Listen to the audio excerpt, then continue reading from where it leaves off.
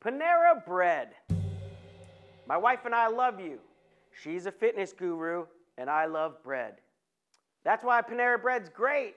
You can take some sexies and fatties and put them at the same table. I feel like I'm healthy when I eat at Panera Bread because you could take a perfectly healthy salad and putting it in an entire baguette. Oh, it's delicious. Little marketing tip. Cater to men a little bit. You never see a group of guys saying, let's go to Panera Bread. You literally have a salad called the Green Goddess Salad. That makes me feel like a piece of crap because guys only have something called Sloppy Joe. Come on, that's sexist. Boom, commercial idea. You take a Sloppy Joe and call it Gentleman Joseph. You know, it's fun. It's on focaccia. You guys put some stuff on it. And don't do this pick two stuff with guys, because I could eat a whole sandwich.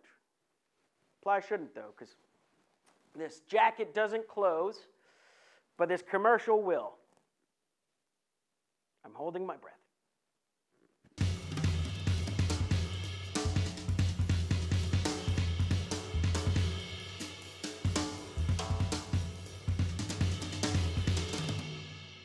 How long?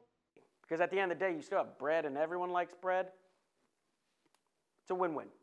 Marketing with Mike. Bam!